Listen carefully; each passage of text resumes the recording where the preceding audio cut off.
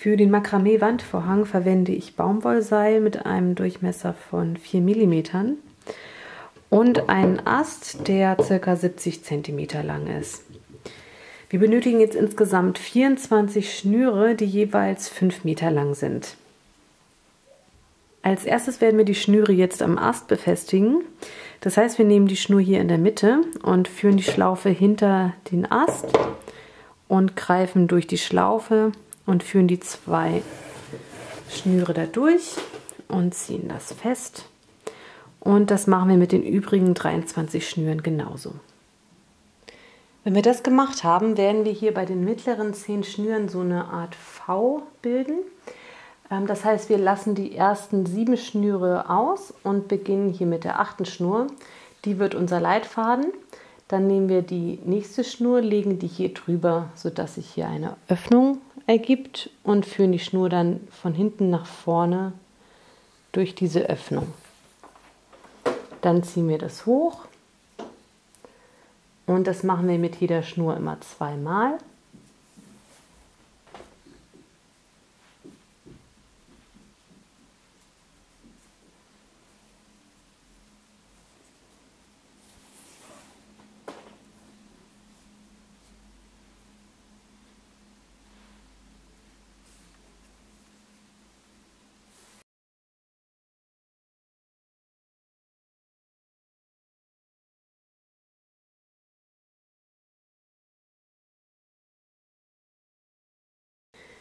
So, wenn wir das jetzt mit den fünf Schnüren gemacht haben, nehmen wir uns die anderen fünf Schnüre und hier wird die ähm, rechtsäußere Schnur die Leitschnur und im Grunde geht das genauso weiter.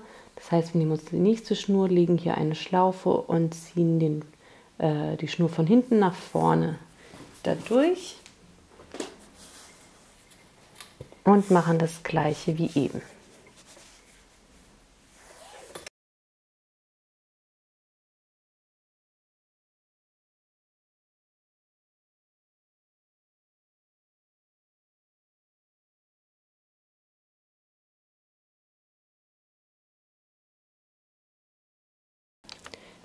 So, wenn wir das jetzt auf beiden Seiten so gemacht haben, nehmen wir uns einfach die beiden mittleren Schnüre und machen da nochmal zwei Knoten rein.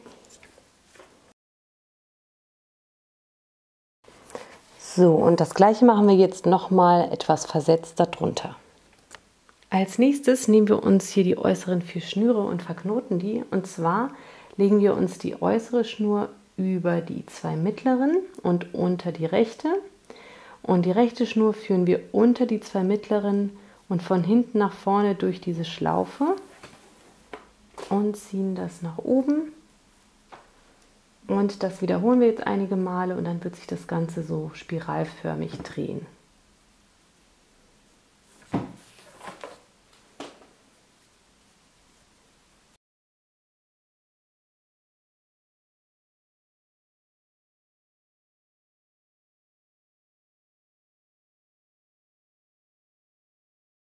Ich habe jetzt insgesamt 20 dieser Knoten gemacht und das gleiche mache ich jetzt ähm, mit den jeweils nächsten vier Schnüren genauso.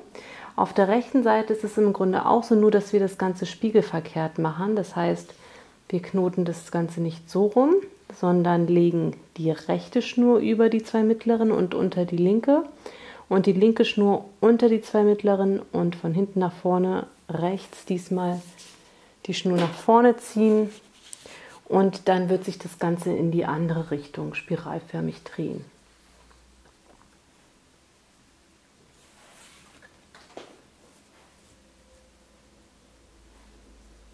Als nächstes werden wir das gleiche, was wir hier oben gemacht haben, hier unten auch nochmal wiederholen.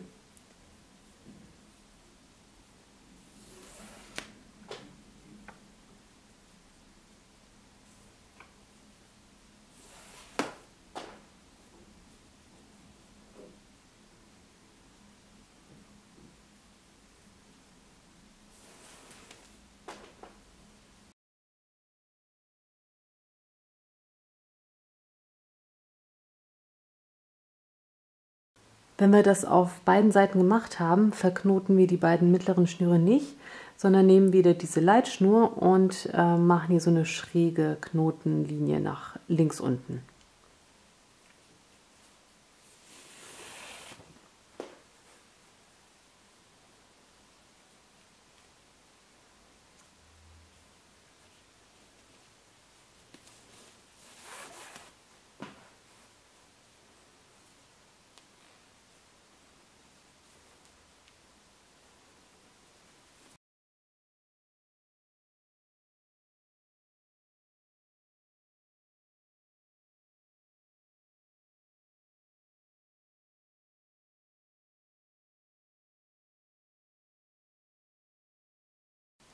Wir achten jetzt immer dabei darauf, dass wir diese Schnüre, die dazwischen liegen, immer so ein bisschen ziehen, sodass sich dann so ein kleiner Bogen ergibt.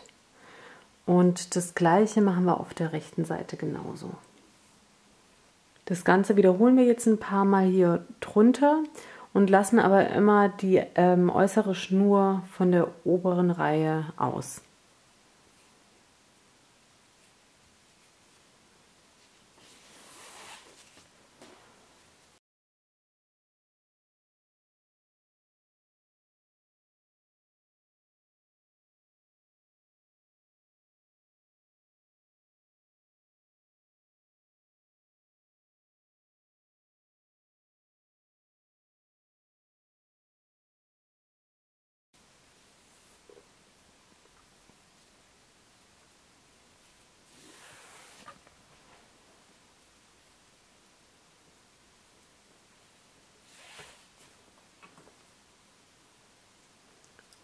So, wenn wir jetzt mit der linken Seite fertig sind, machen wir das auf der rechten Seite genauso.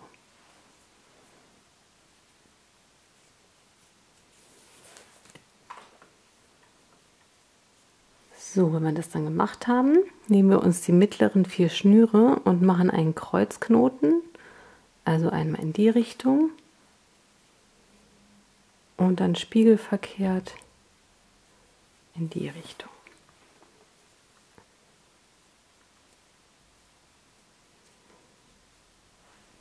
Als nächstes fangen wir wieder hier oben an. Und zwar arbeiten wir hier mit diesen fünf Schnüren, lassen also die zwei aus.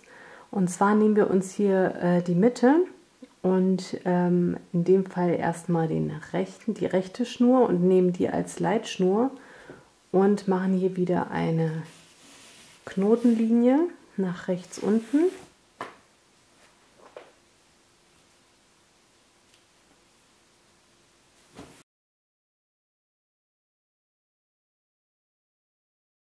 Als nächstes nehmen wir uns hier die Schnur, die links neben dieser Knotenlinie liegt. Und die wird jetzt unsere äh, andere Leitschnur, die hier nach links unten geht.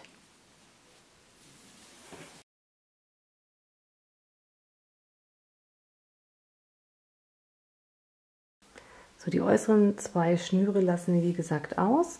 Und jetzt geht es weiter, das heißt wir nehmen dieselbe ähm, Leitschnur und gehen jetzt nach rechts unten.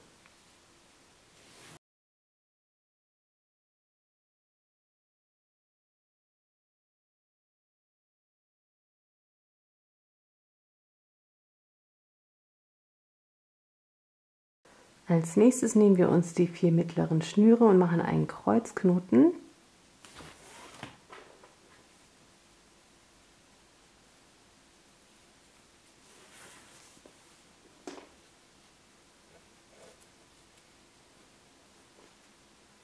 Dann machen wir mit etwas Abstand einen weiteren Kreuzknoten. So, und den ziehen wir dann hoch so dass sich hier so zwei Bögen bilden. Und dann machen wir das gleiche äh, von vorne.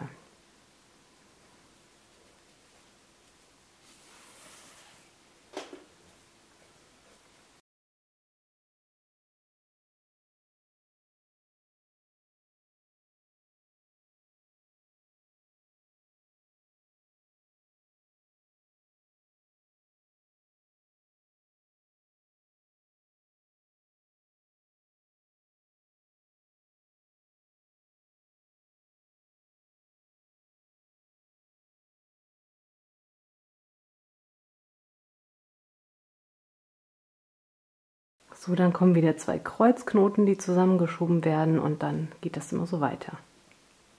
Auf der rechten Seite machen wir das ganz genauso.